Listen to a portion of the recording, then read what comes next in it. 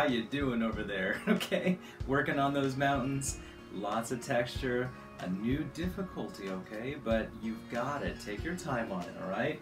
And don't overthink it, all right? Try not to overthink your paintings. Just let loose. This is all for practice, and we're eventually going to get to those advanced steps here. But again, I want you to turn the basic into something a little bit more extraordinary. Now, on this episode, we're going to go ahead and take that original. You can see we've already worked on our sky. We've got our mountains. Uh, we're going to go ahead and add an element of water. You can see I've got this blue right down here. That was from our basic, you know, step as far as making the canvas all blue. But what that did was it give us the invitation to really add some, maybe some kind of reflection here. Now, when you're thinking about this kind of reflection, you probably want to think what, again, was the furthest thing back that it will be reflecting, and that's typically your sky, your clouds, things like that. So you want to take your small size brush, and we're going to go ahead and make some more of that light blue, all right? So let's go ahead and do that. I still got my plate here of mixing some of that original, and I'm going to go ahead and make some of that nice light blue, powdery light blue. And I've got my small brush. And what I want to do is almost, in a sense, mirror some of those clouds. Taking a little bit of paint that's left on my brush, and I'm just mimicking or mirroring the clouds. And again, the clouds are the light, lighter of the thing. We're going to actually have to make some reflection of some of those mountains too coming up. We'll get there. But these are a little bit more flatter. You can see got some puffiness to them. And you want to almost make it look somewhat similar. Now again, it's very difficult to be perfect on this step. Don't worry about it. All right, we're just we're just making the basic come to life a little bit more and adding a nice reflection. See, just I'm not using a whole lot of paint. I'm taking that paint as far as I can go without putting any more on my brush. And as you can see, there's kind of a little bit of a break coming up here our paint. With our sky right here, see it's a little bit darker right there. We want to kind of mimic this. So maybe some clouds start over here. it's just fun. Again, very lightly and taking just a little bit of paint on your brush and extending it. Look at that, I haven't even put any more new paint since just starting this. I'm just taking whatever is left on there and adding some fun little bit of reflection. What that did was that added a little bit of depth. And if you want to add even more depth, just put a little bit of blue on your brush and you can start adding maybe some streaks of blue along your edge here. Just to add a little bit more depth. And what that does now is it starts to maybe add an illusion there's some shadowing going on right there. So take a look at this. Now, typically you do want a lot of your water to be, I'd say, a little bit darker when you're doing reflection, except when it's really hitting the light, the light's hitting it directly. It's tricky. Water is uh, one of those more difficult things, like glass, that's more difficult as well. Um, but again, I'm just adding some streaks of blue, just breaking up some of this, making it look like there's. You do this like side to side, kind of breaking it up like tiger stripes right here, that gives the illusion that maybe there's some ripples in the water, a little bit of wave, a little bit of something that's a little bit, some movement happening in the water. At that. Gives the illusion. It's all an illusion.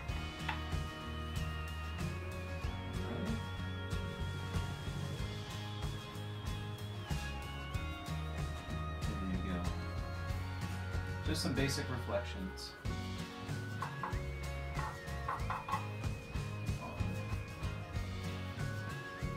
Water. Look at that. And again, you can mess around with it, add more light blue, you can add some, you know, brighter clouds if you like, brighter reflection, whatever you want. This is up to you. This is your painting. You're the artist. And you can see Out that, cool reflections just popping off that water. And kind of blotting or damping that brush just a little bit. And it gives, again, the reflection. Can do that on the other side here. Maybe add some of those. You can see what we're making out of these, just these basic colors. Really pretty. Again, you can keep working on this for so long, so you can keep it up, but you know, this is what it's all about. Having fun with it, enjoying it. I'm gonna bring this up a little bit closer so you can see exactly what we're doing, and enjoy, guys. All right, so now you can see up close, we worked on those clouds reflecting. Right, but there's also another element that you still need to add to make it look a little bit more realistic, like it's reflecting for real. And that is really reflecting some of your mountains. Now, this is a little bit more of a difficult step because it's a little bit more detailed in depth. I want you to go ahead and make some of that original brown, red, into yellow, and a little bit of black will make that original brown. Now this one, we're gonna do the flat, I got a flat size brush. You can also use a small brush.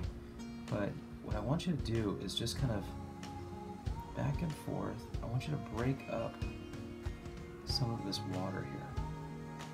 Look at this. I want you to break it up and you can see what I'm doing is I'm creating the illusion of maybe some landmass on the water here.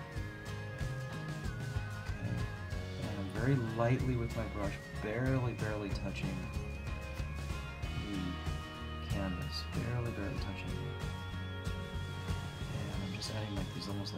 streaks. So I'm gonna add some over here. Obviously, we got a big mountain over there. And it's okay if it goes over some of your white, some of your blue. It's all good. Just taking some of that and breaking it out. Look at that. Little bit different, little bit different of a step. It can be a little bit scary because we're, you know, trying to just visually understand, you know, some of these, you know, a little bit more difficult steps. It's really tough to kind of comprehend um, we're again we're using like basic color so we're just kind of going with the brown but you know I've seen a lot of artists really delve into the color wheel and use so much more color and value and, and add tons of layers into it but again we want to just go with the basics for now and at least get you the idea of how to turn simple things into a little bit more extraordinary for you. Okay. So check that out. some fun reflection. That's all it is, just some fun reflection. We're just using some of the brown that I have left. We could use maybe a dark blue in there. I'm gonna I'm gonna attempt to do that. I'm gonna I'm gonna work with it. I'm gonna get some of this here.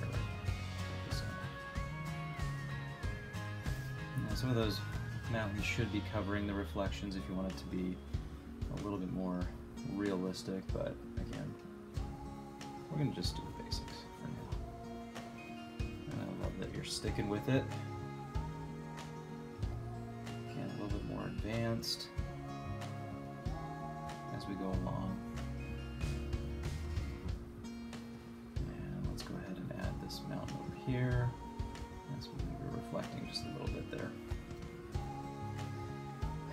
And really what you can do is you can take your brush, kind of wipe it off, add some plain blue on there, and you know, kind of add it into some of the brown just so it just looks like maybe still more of that watercolor.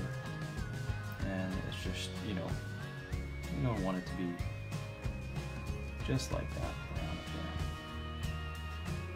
But at least you can see now, blend some of that blue right over it, and it just gives like a nice darker effect.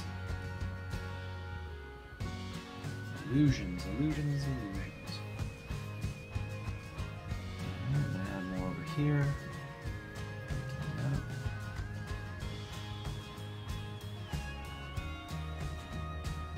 Fun, isn't it neat? I'm putting just blue right on top of some of that brown. Giving the illusion.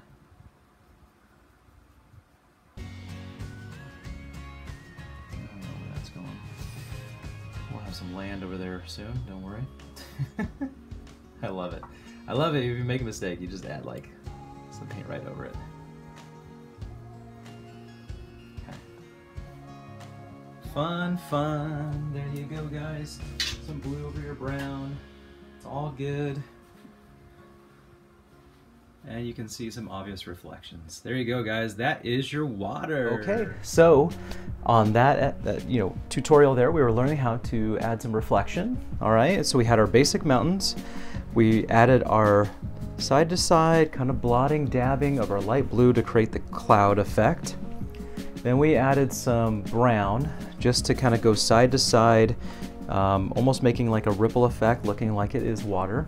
Okay, breaking up some of that, just mirroring some of the shadows that we're getting off cast of those mountains. And then what we do is we add a nice layer of just blue, plain blue, right on top of some of that brown, just to keep the water looking like blue color. All right, so as you can see, we got a nice illusion of some reflection right there. Get ready, we're gonna about to boost this up with some land, some trees, some color. Um, this is looking a little basic, so I wanna add some fun color to it. So let's get some plain green. All right, so as you can see here, we've got our clouds that we turned in a little bit more, something more exciting. We turned our basic mountains into something even more exciting with all that texture. And we decided to add some reflection onto that. So on top of it, I want to add a little bit more life into this painting, just a little bit more um, something special. So these are some details before we work on to some of the other things. I'm going to put some plain green on my brush, just a little bit. And I'm going to go ahead and blot or dab some of this green and just kind of maybe break up some of these areas down here. Okay, I'm just adding a little bit of green, just kind of breaking it up here. What's so exciting is that you can just keep adding to these paintings. You can keep going. Um, you know, I want to add a little bit of green, maybe up in here into these mountains. I really love when you get that life starting to happen on a painting. Look at that, just a little splash of green goes a long way. Oh, there's a lot right there. Whoops. Don't worry. What you do is you take some of that and you just bring it up to other places. Look at that. See? Even if you feel like, oh gosh, I made a mistake. No, what am I gonna do? Don't worry. That's what you don't do. That's, you just chill.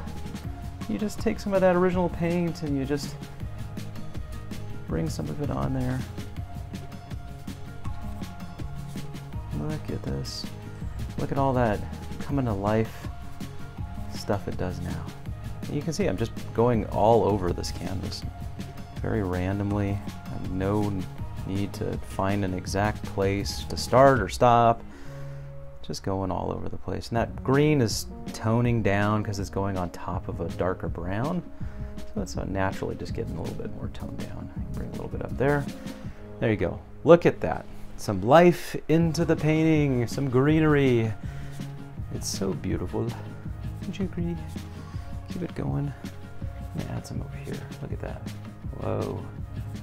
I bet it's bright on top of that brighter highlighted area. Look at that.